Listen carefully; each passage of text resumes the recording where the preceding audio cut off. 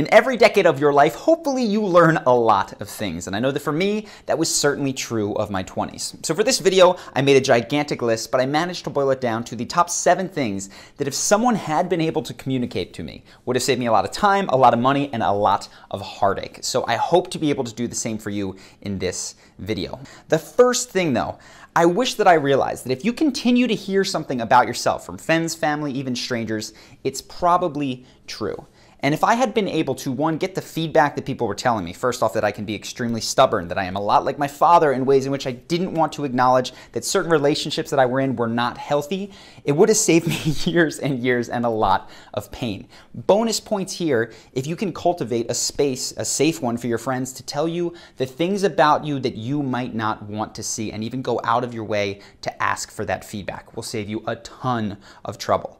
The second thing that I wish I realized is that when it comes to negotiations, 90% of success is in starting it because no one tells you that it's time to negotiate. So when you walk into a car dealership for the first time, the person doesn't say, the list price is 24,000, but now we're going to negotiate. You can expect to drive me down at least 20%, right? That doesn't happen. It doesn't happen in job interviews. It doesn't happen with regards to compensation or with regards to other intangibles like can you work from home or do you have to come in the office?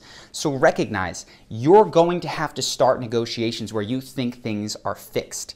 For me, this meant one of the, the only times that I actually did this was with grad school. There were two schools I had, one that I wanted to go to and one that gave me more money. I thought I was going here, so I sent an email to these guys, said, I appreciate it, I'd love to, but I financially I just have to take this one. Not expecting anything back, they gave me 15,000 additional dollars, which is huge because I might still be paying that off today if I didn't get it. So start the negotiation and work with big purchases like rent, and of course when it comes to financial aid and schools. The third thing that I absolutely wish that I knew that nobody actually told me at the time is that scarcity is often just a tactic to get you to buy. And when I look back on all of the worst decisions that I've made, whether they were romantic actually or financial, it was when I felt like there was this sense of if I don't act now, I'm going to lose out. So don't get me wrong, there are things in life that truly are scarce, but what is unfortunately and uncomfortably the truth is that you're usually not so lucky to stumble into those once in a lifetime opportunities when you're 22, 23 years old that you'll never see again. And I can reflect back when I would go to a new city, I'd walk into a gym, and they would almost always seem to have some sort of special for that day that if I signed up right then, I could save 30%. And as I got older and smarter, I realized those specials were constant. They were just to get me not to look at the competitors. So anytime that you feel like, holy crap, I, I, this is a huge opportunity, I've got to move now, pause. Take a deep breath and ask yourself, would you be acting today if this scarcity wasn't there? And not only would you be acting on this, would you be excited to move in the direction that you're going? If not, let it pass you by as a heuristic. That's going to serve you much better. The fourth thing that I wish I realized is that arguing over life philosophies, over how you live your life, is basically a waste of time and it just shows that you're not confident in what you're doing. When I first read The 4 Hour Work Week, I told everybody, my mom, my dad, my friends and family, they needed to quit their job, they had to move abroad and start an online business like I was going to do. And we would go back and forth and they would tell me it's never going to work. And it was really a cause of a lot of strife in the house because then they pushed back on me. Reflecting back, I realized that one, I had no idea what I was talking about. Even though it worked for me, it wasn't necessarily right for them. But two, it came from a place of being afraid to do it, so I was trying to convince them that this was a good way to live so that I could feel okay starting.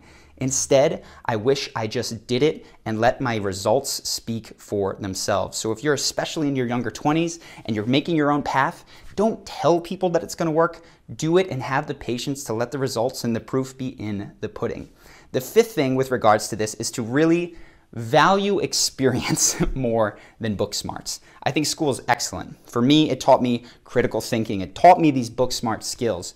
But I think it also depreciated the value of experience in my mind. I thought that if I read about something or thought about it long enough, that I understood it. And that's absolutely not the case. One of the most stark realizations of this was when I went abroad in college to Costa Rica. Prior to getting there, I just assumed that America was obviously the best country in the world, and little things like that I hated dancing, that dancing was for women. And of course, you get there and you realize there isn't necessarily a greatest country. There are pros and cons to different styles of life, things that I love of the Costa Rican style, and things that I really appreciate about where I grew up. Additionally, I found out that I loved dancing, and it wasn't just something that was for girls. A lot of people can do it and enjoy it. The point is, if you have strongly held convictions about things that you haven't experienced, pause and again realize that this is probably one of the biggest areas of growth for you. So lean into those things that you think you know a ton about this person or this type of living. If you go explore that and experience it, it's going to lead to tremendous, tremendous personal growth. The sixth thing here. This is really, I've always had a love of trying to tell the truth. I, this, this came to me very early in my early 20s, but what I didn't understand is that there is such a thing as a lie of omission. And so to me, telling the truth was just not fibbing, not fabricating a story.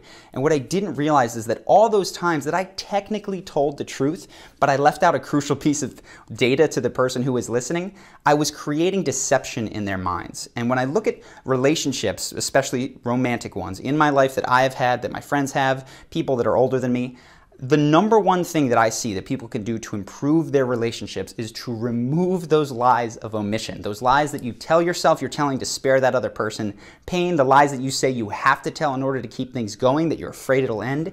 If you can remove those lies, it goes a tremendously long way to actually improving the stability and the happiness that you get from that relationship. And the last thing that I wish that I knew is that growth often comes when you do the opposite, the exact opposite of what worked before. So when I was younger, say 10 to 20, what worked was listening to adults, right? Was not having any faith in how I thought how I should be doing things, but instead to study hard, to not do drugs, to kind of follow the straight and narrow path. And that served me very well up until I was 20.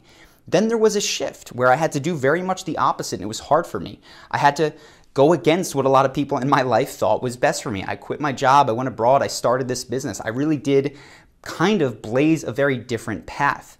But again, growth means doing the opposite. Now that I'm 31, I've realized that there's a lot of value in not thinking that I have all the answers and coming back to some of the traditional things that I might have heard from my dad or from older, wiser people and exploring them more fully. I say this to you just to recognize that if you're feeling stuck in your life, it's often not just a little thing, oh, if I just did this differently, if I watched a half an hour of less TV a day, that is going to be the breakthrough for you. Sometimes it's a completely radical paradigm shift that actually opens up a whole new way of living. So just keep that in mind and don't close out possibilities to yourself. So I hope that this has been helpful to those of you in your 20s and maybe even beyond. So I hope that you guys have enjoyed this video and I will see you in the next one.